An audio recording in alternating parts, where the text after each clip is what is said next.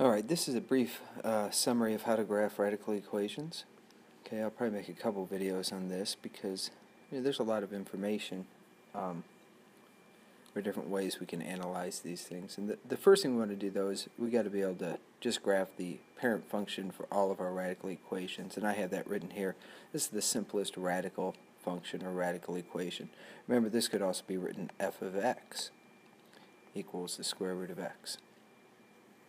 And when you're asked to do this, the first thing we have to recognize is that because it has a square root in it, uh, we aren't using imaginary numbers or graphing this on a real uh, coordinate axis.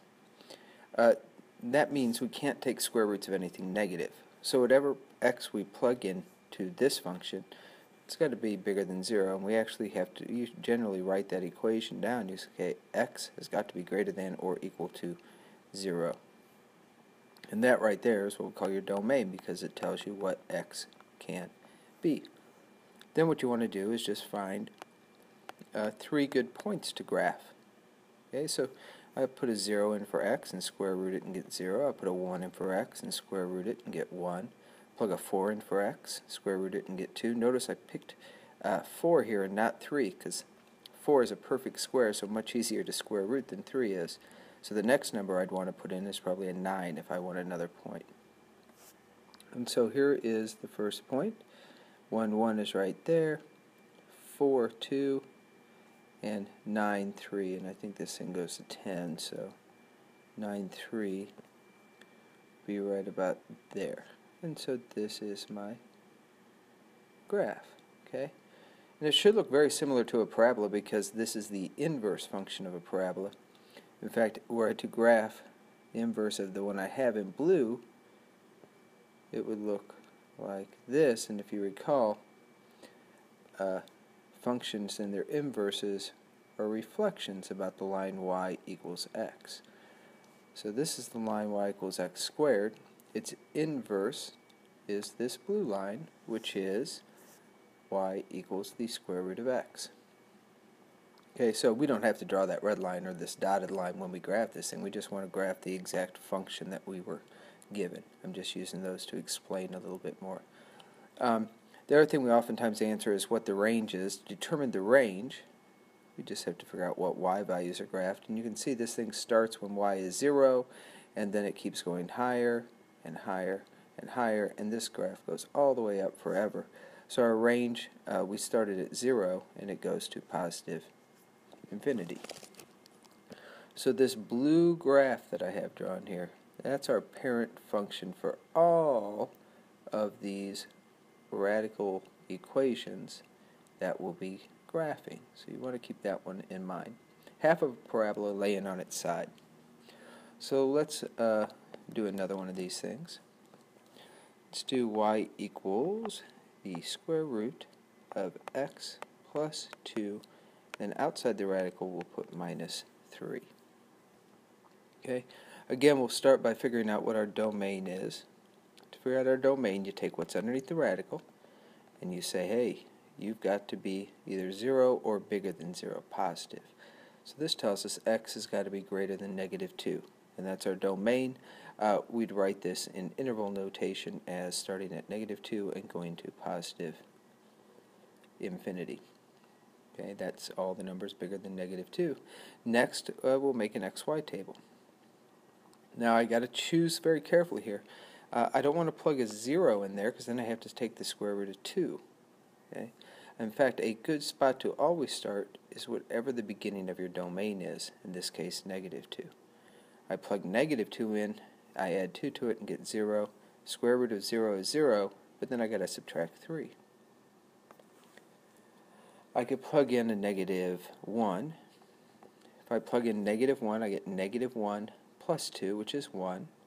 The square root of 1 is 1 minus 3, negative 2. I don't want to plug in the 0 because that gives me the square root of 2. I don't want to plug in 1, that gives me the square root of 3. I'll plug in a 2 next, which is the square root of 4 then, 2 plus 2. Gives me a 2 minus 3, which is negative 1. So let's graph this thing. My first point that I could plug in, the smallest x was negative 2, and at negative 2 it's at negative 3 right down here. At negative 1, it's at negative 2, right there. And at 2, it's at negative 1, right there.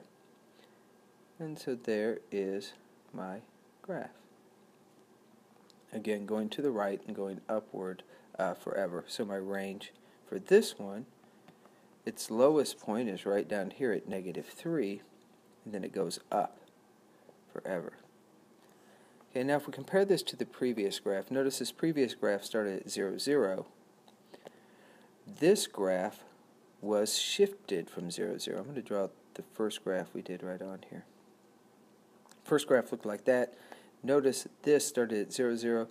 This new graph is shifted to the left right here by 2 and it shifted down by 3.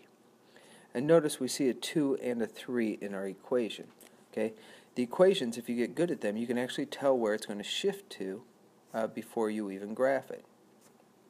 Okay, In general, what you want to do is if you uh, have a number that's added or subtracted on the outside, that's going to do a vertical shift. So in this case, it said shift it down by 3, which we can see it is.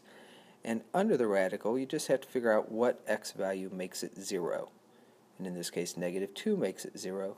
So it's shifted left by negative 2 units. Okay, Let's look at uh, one more of these things. So again, let me just erase some of this other work so you can see what our final graph looks like again.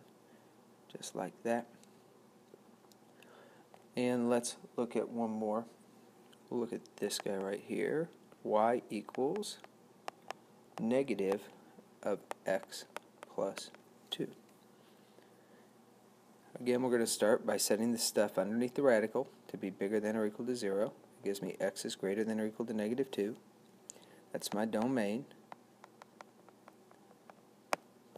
In fact, this thing right now, I'd say it's going to start to the left by negative 2 right there. Now we haven't seen one with a negative sign in front of it before, so let's see what that does to our values. I'm going to start with negative 2, my zeroing value and I get 0, and then the opposite of 0 is still 0. Then I'll plug in, ooh, let's plug in negative 1. Negative 1 plus 2 is 1. Square root's 1, but then I want the opposite, negative 1. Now let's plug in uh, oh, 2. 2 plus 2 is 4, the opposite of, and then I guess square root that, that's 2, and then the opposite, negative 2. And so this one starts at negative 2, 0, where I've already drawn my first Negative 1, negative 1, 2, negative 2. And it curves this way. And this is in general what this negative sign in front of your uh, square root function will always do. Normally, if without that negative square root function, it would look like this blue line I've drawn. But because of that negative in front, it flips it over the x-axis. So we have x-axis symmetry, basically. Um, I guess I shouldn't call it symmetry, but uh, an x-axis reflection, because that part doesn't really exist, but it is a reflection of that part. Okay, so that's another useful uh, tidbit to know a negative on the outside can cause a graph to flip over the x-axis. And finally, we'll do a simple one here. Let me put a new graph on our paper. There we go. This time, instead of putting the negative on the outside, let's put the negative on the inside. Put negative x plus 3. Again, we'll start the same way. We'll ask what makes the stuff inside greater than or equal to 0. Be a little bit careful here. I have to divide by a negative 1 to get x alone, and that flips my inequality. So my domain, this time, the x's are less than 3, so it looks like this in interval notation goes to negative infinity and starts at 3. Uh, positive 3 makes this under the radical 0, so Positive 3 is where this thing is going to be shifted to the right, right where I've drawn that purple dot by 3 units. Let's go ahead and graph a few points. Now this time I want to choose x values that are less than 3. I'll start with 3 again, which gives me 0. Then I'll plug in a 2, because that's negative 2 plus 3, which is 1. Uh, I could try a 1, but that gives me negative, or gives me a 2 underneath the radical. Uh, I could try a 0, that gives me 3. I could try a negative 1, which gives me negative negative 1, or 1 plus 3, 4. Square root is 2. So let's look at what that negative on the inside did to um, our graph. There's 3, 0. Here's 2, 1. And finally, negative 1, 2. So this one curves this way.